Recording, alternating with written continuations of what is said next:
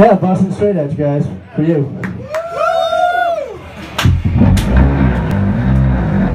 Sorry we started the place off before.